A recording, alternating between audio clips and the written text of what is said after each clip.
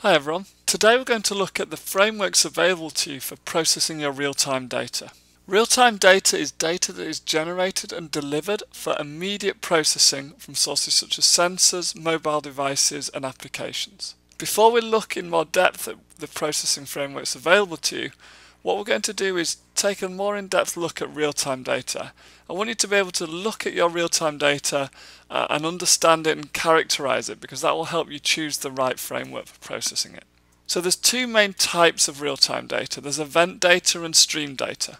Event data, this is uh, self-contained messages, typically low volume. These are generated when a well-defined condition arises. So this could be a one-off event like um, uh, you know, a, a, river flood triggering event into a system, um, a vehicle incident. Um, whereas stream data, on the other hand, this is when your data source is uh, it's a continuous flow of data. It's unbounded, which means it has no discrete beginning or end. So this could be a sensor recording temperature, uh, a sensor recording position, something like that. Now typically these data records are small in size, um, but the complexity arises in designing your architecture to handle the data volumes, as these volumes can be extremely high. So here's a comparison between event data and stream data. Let's have a look at an example. Uh, so event data, let's have a look at the river flood example. So if you have a river, uh, you may have a sensor high up on the riverbank, and that sensor detects, maybe it's kind of a buoyancy, has buoyancy, and it detects when the river reaches that level.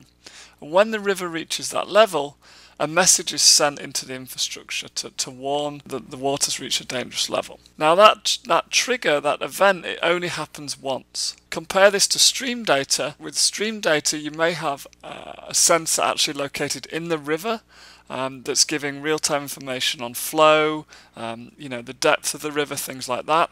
And these, these sensors are sending data back continuously uh, into the infrastructure for processing. So you can see very, very different volumes of data. One of them is, is very, very infrequent and, and low volume, and the other stream data is, is continuous. You need to look at your real-time data and understand which of these two categories it falls into. So next, let's take a more in-depth look at the real-time processing frameworks available to you, to you to handle these two types of data. So batch processing, well batch processing can handle event data or streaming data. Um, basically, for either of these two, you would store the data to a database and then you'd run some batching tools against that data. Uh, now this can be complex for stream data just because of the huge data volumes involved. Um, you might have to use um, you know like a big cloud database to store all that data. But it is possible. Um, you're processing the data after it's stored and it, it can be very high latency, you know, minutes to hours. Event processing now, this type of processing framework is obviously related to event data streams. So a job runs immediately in response to an event. This is medium latency, so you know uh, the job isn't running all the time listening, so there is some latency with the, the processing engine coming up online to pull that job. Um, and with this, you can do very complex analysis. So you basically have all of the analysis tools available to you that you have in batch processing. Um, but yeah, you, you're reacting to the event and then you're maybe storing the data.